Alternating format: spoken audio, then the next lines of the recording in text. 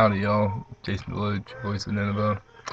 Happy to be with you this evening. Um, I was just talking about saying your prayers night, and I want to take a moment to talk to you about the fact that your prayers are already being answered. Never forget that. Never forget to be working for what you're here to bring as a bridge between heaven and earth. And never forget that at the bridge between heaven and earth there are always things on their way. You are being helped and aided as much as you can be. So hold fast. Spiritual training. You're always being tested. You're also always being observed. So what you do and what you do in private always matters. We have to walk this line. No one else can walk it for us.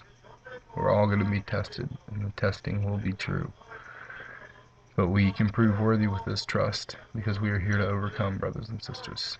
I love you very, very much and um, I feel this in my heart that we get discouraged often, and I want to encourage you to learn to ride that wave.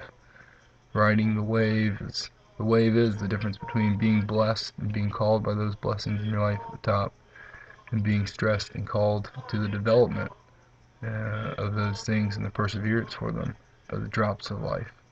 And you can ride this along the top as they do this. You can dance on top from one to the next.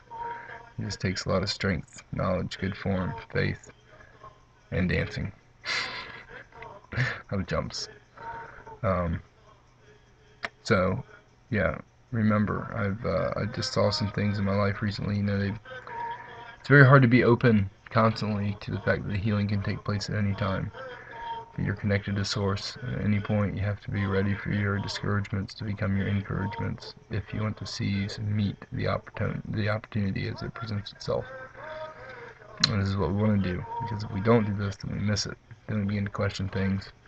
That's bad okay? We don't live our lives in doubt. We want to live in confidence and ability self-reliance and deliverance of energy to all of our relations as we receive life from everything around us be a proxy of all our relations and the majesty therein.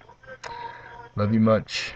Your prayers are being answered. Hold fast. Remember, it's just spiritual training. You're always being tested. Drop the mortal story. Enjoy the discipline from your parent. You're a child of the Most High. Let's just think and act like one. Blessings.